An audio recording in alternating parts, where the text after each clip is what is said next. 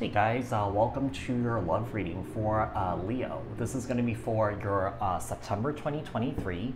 You can apply this to your uh, Sun, Moon, Rising, Venus signs. So, is it a good idea for you to reach out? So, we're, uh, it's uh, someone that you're dealing with that you're in no contact with. Uh, we're going to take a look and see if it's a good idea for you to reach out to this person and what will happen if you had contact with this individual. So apply this to your own unique situation. You may switch the roles if you want. It could be a situation where this person is wondering this about you. Keep in mind that these are general messages. Take what resonates and leave the rest behind. If this message didn't resonate with you, you may take a look at your other placements. Keep in mind that these are collective messages for the collective Leo people not tapping into one specific person's energies in particular. If you're looking for a reading that's tailored specifically to your unique situations and your energies, I suggest you to uh, book a personal reading with me. The link for that is in the description box below. Like, share, comment, subscribe, hit the notification bell so that you guys get notified on uh, when my new videos post, when I go live. Also, if you guys are interested in following me on TikTok and also on Instagram, the links for those are in the description box below. I do post readings on there too. All right. So tell me about Leo. Leo, the person that Leo is in no contact with. Is it a good idea for Leo to reach out to the person that they are in no contact with for uh, September 2023? Sun, Moon, Rising, Venus signs for Leo. Okay, we have the Ace of Cups here. Well, whoever this person is, Leo, this is a, King of Cups. This person's like in love with you. Ace of Cups, King of Cups, Cancer, Scorpio, Pisces. This person's madly in love with you. Yeah.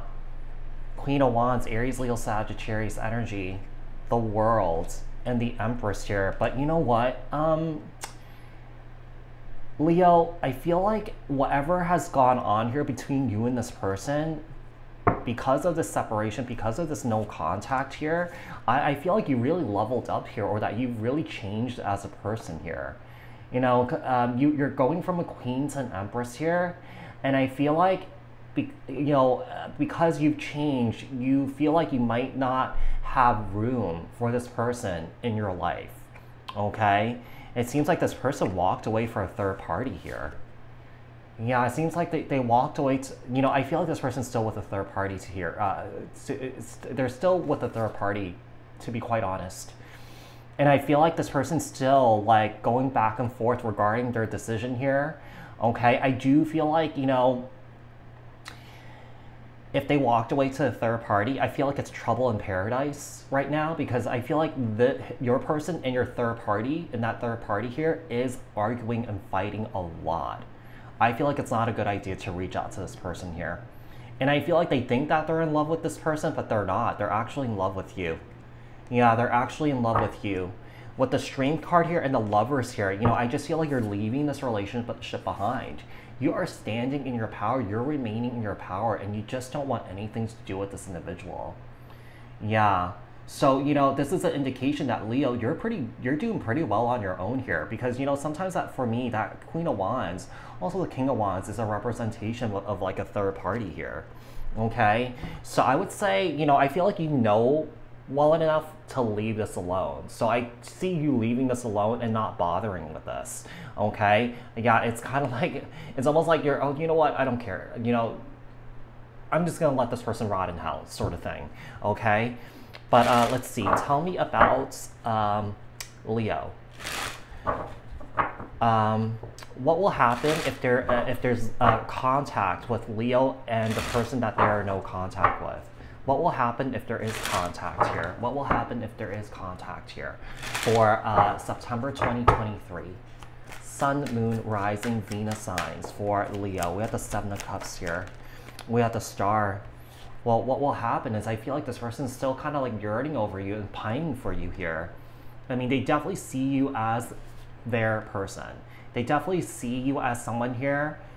They see you as someone here who got away. You, you, you know, because of a poor decision that they made here. The star card, Aquarius energy. We have the Seven of Wands in the reverse here. Uh, we also have the Queen of Pentacles here. How many people is this person talking to? Yeah, how many people? How many people is your person talking to here? Yeah, it, you know what? I feel like you made peace with the past here. Yeah, four swords here and the six of cups. So I feel like you're leaving this behind.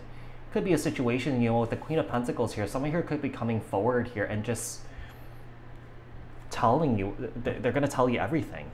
Yeah, they're they're they're gonna tell you everything here because I, I, feel I feel like you're this Empress here.